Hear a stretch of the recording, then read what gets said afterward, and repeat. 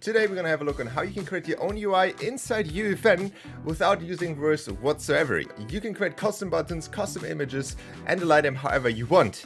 So without further ado, let's jump right into it. The first thing we have to do is obviously create an UI element first, which then we can use inside Fortnite. How we can do this is by going down to the content browser and next thing we have to do is click in our little content browser. You can see that I already made one here. Um, but we're just to right click in here and we're to select the user interface widget here. Um, so we create a widget blueprint. Here on there's uh, two important things that we have to consider. The first one is if you just want to use a normal widget which doesn't have any interactable. So if you just want to use um, anything that just pops up on the screen, you can use the first one. If you ever want to use one that has a button or anything that like that, you can use the second one. These two also are different in the devices you use them in. The first one right here is for the HUD message device. So you can see this right here. I already created one. And the second one is for the pop-up dialog device. Um, which obviously has the options to have custom buttons. If we click on the HUD message device and then we go to the advanced tab over here, you might have to scroll that down, um, we can see that we have the option for HUD widgets. And in here we can basically put in whatever widget we created. There's also some default ones. On the other hand, we have the interactable one, which does allow us to give the options of buttons and multiple other options, but this one only allows the type modal dialog variant. So you can see down here that we have the modal widget here, and we can put one in here, but we do not have really one yet. We have one that I made for the tutorial, obviously. So we have to go in here, click on the user interface widget blueprint, and then we select this one over here. For the purpose of this video, we're gonna name this test. In here, it basically works the same as with the normal HUD. So this is basically the same process. The first thing which is super important when creating a UI is that you have a panel first. You can use the canvas panel uh, for the normal HUD. This one is technically the easiest one to understand. Whatever you put inside of here basically will be shown inside your UI. You can scale them up and down by just clicking this blue button here. So if you want to have full HD, you can drag that down here. The important thing though for the pop-up dialog device is if you want to have buttons in there, you cannot use this one. I'm not exactly sure what the reason for this is, but every time you use this, it will give you an error. So you have to drag out any of the other ones. It doesn't really matter. It also also depends on what you want to create. So in our case, we just use a normal grid panel here, make sure that we scale it up to full HD. And now we can start putting in our cool stuff here. Alright, so the first thing I want to put in our UI is just a normal image of a gun. For that, we can just click on our images that we want. So in our case, we're going to look for any Fortnite weapon. Let's use the SCAR. We just put it in here and we can just drag and drop it inside of here. And now you can see it popped out this little thing here. This is a grid panel, so it will obviously align everything in a grid.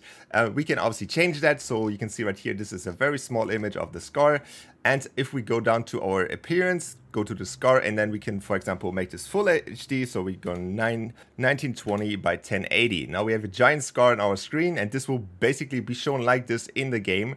Um, maybe we do not want it as big as this one. So we're just gonna... Alright, so I just scaled it down a little bit, as you can see right here.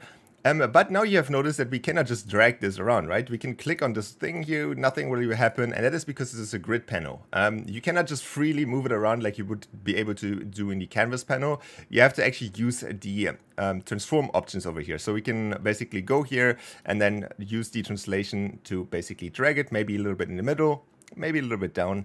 And now we have a giant scar on our screen. But it doesn't really do anything yet. All right, so let's say we want to have this picture on our screen and then we want to press a button and then we get that picture. So we get the scar in game. So we can use the variety of a few buttons here. We have the loud, quiet and regular. All right, so if we quickly drag them in here, you can see that this one is obviously the blue one. This one is the like transparent one and the um, loud one is the yellow one.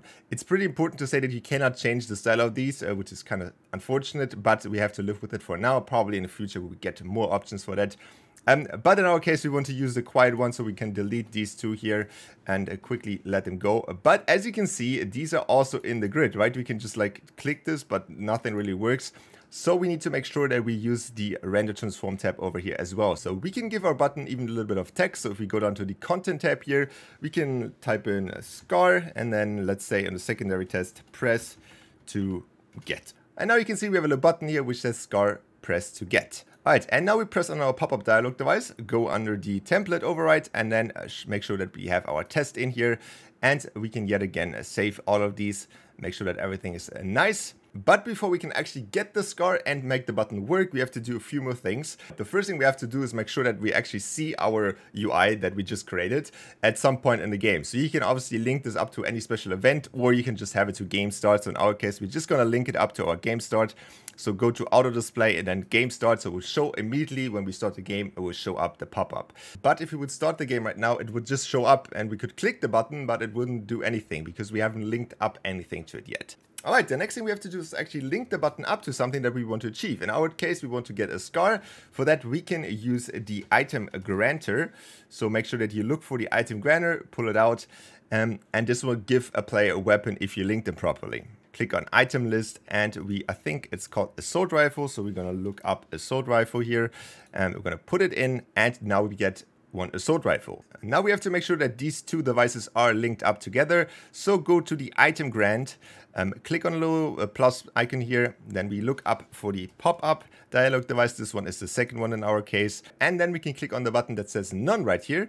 And we can see a bunch of options. We want to have response button one in our case because we only have one button yet. Um, and that should be good to go for this one. All right, don't start your game yet because as you can see, if we start the game in uh, our case here, we can see everything works fine. We get our giant scar with the button, which we can actually press on, but if we press the button, nothing happens. And the reason for that is because we didn't link up the button in our UI. Back to UEFN, we're going to click on our little test here and we're going to click on our button. Now we just have to make sure that our button is actually linked up and can be pressed uh, and can be used with the pop-up dialog device. We can do this by clicking on the view binding tab over here. And if we click on this, we will see that we get greeted with the this editor requires a view model. So we're just going to create a view model.